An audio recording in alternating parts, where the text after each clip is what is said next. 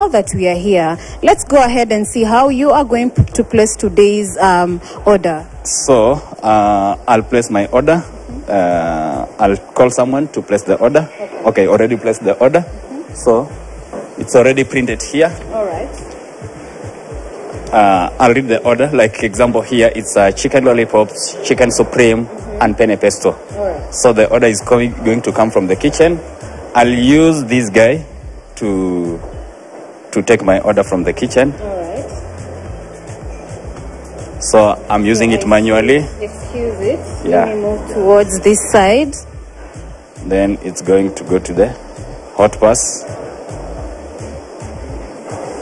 That's where it's going to pick the order. All right. Now from there, I'll go take my order. Give me my order. Okay. So as we are waiting for the order to be placed on the robot, guys, um, remember this is the first ever robot cafe in Nairobi, and to be served by this robot technology, it feels amazing, thrilling, and you know this is your virtual guide, the show, to see exactly what you will experience. Chef, are you ready? Yeah, my order is ready because by the time the robot was coming from the table, the order was ongoing because the docket came directly to the kitchen. Now I'll give I hear you. And you said the robot can also sing behind the scene. Uh huh. What songs? happy birthday, all the occasion by, uh, birthday songs, uh, party songs. I can make it to sing.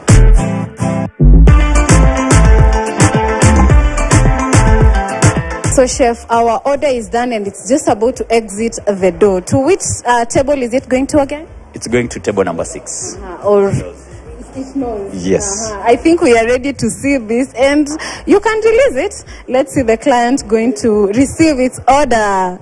How long does it take, by the way, to move from this point to where the table is going to be? It's uh, less than a minute. Yeah. All right. Let's see it moving as we just discussed behind its back. Okay, it's going now to deliver the order to the table number six.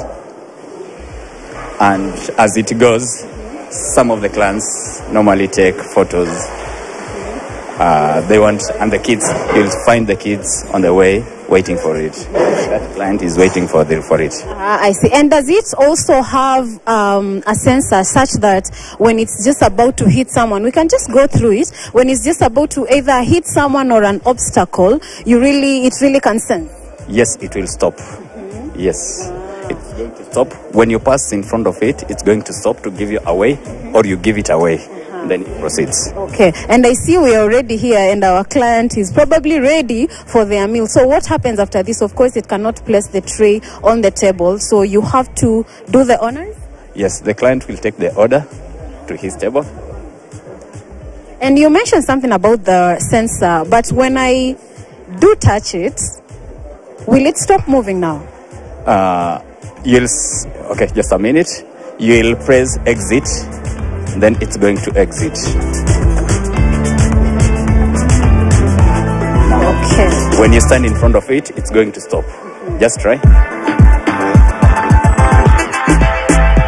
Ah, I see now. Yeah.